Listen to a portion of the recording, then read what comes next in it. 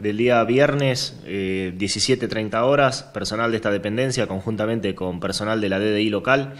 en relación a una causa caratulada amenazas agravadas, con intervención de la Fiscalía a cargo del doctor Teodoro Ruiz, el juzgado de garantías número uno a cargo de la doctora Andrea Anastasia Márquez, eh, dispuso una orden de allanamiento para un domicilio, cito, en calle Indígenas Argentinas al número 80, con resultado positivo en cuanto a que se secuestró el elemento este, que fuera utilizado para mm, realizar la amenaza una cuchilla tipo carnicero con cabo plástico color blanca, la cual bueno, fue secuestrada y puesta a disposición de la, de la Fiscalía en turno. Este, y bueno, eh, de esta manera, este, con el resultado positivo en cuanto al, al allanamiento, y bueno, dicha, cabe significar que dicha denuncia había sido radicada el día 19 en esta dependencia.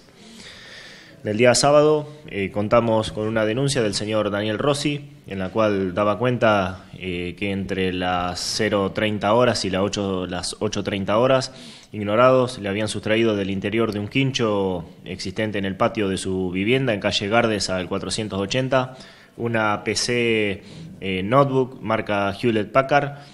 bueno, en razón de ello se iniciaron las mm, pertinentes actuaciones bajo la carátula de hurto con intervención de la Fiscalía a cargo del doctor Teodoro Ruiz. Del día eh, ya domingo,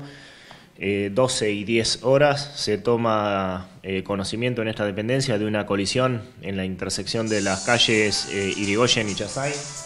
en la cual, bueno, un vehículo marca Fiat Mobi, eh, había colisionado con una pickup eh, Volkswagen Amarok. Eh, y bueno, en razón de ello se hizo presente personal policial a los fines de, cortar el tránsito. Fue requerida la ambulancia del hospital municipal. Y bueno, una vez que tomó intervención el médico que se hizo presente en el lugar, el doctor Oyarzábal, eh, bueno, eh, no, no, hubo, eh, gracias a Dios, lesionados y solamente hubo intervención policial, como le decía, a los efectos del tránsito. De la tarde del día domingo también, a las 16 horas y 6 minutos, se toma conocimiento en esta dependencia que se había caído una avioneta en un predio rural cercano a la ruta 226 eh, y bueno, al constituirse personal policial, eh, bueno, constata lamentablemente la veracidad del llamado en cuanto a que una este, avioneta em, del tipo ultraliviano eh, había, se había precipitado a tierra por causas que se desconocen. Y bueno, en, razón de ello, posteriormente em, inmediatamente toma este, intervención también personal de patrulla rural eh, se logra identificar al piloto de dicha avioneta, resultando ser el señor Diego Marcelo Guitar, eh, de 53 años de edad, con domicilio en cuartel tercero de la localidad de Chiclana, partido de Pehuajó. Eh, y bueno, esta persona era la que piloteaba el avión experimental tipo ultraliviano. Bueno,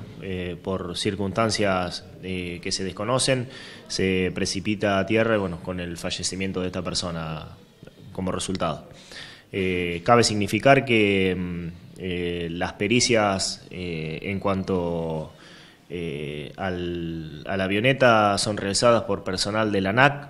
Administración Nacional de Aviación Civil, las cuales dieron comienzo a las 9 horas del día de la fecha. Y bueno, una vez que, finalicen dichas pericias, vamos a, a contar con mayor información en respecto del accidente.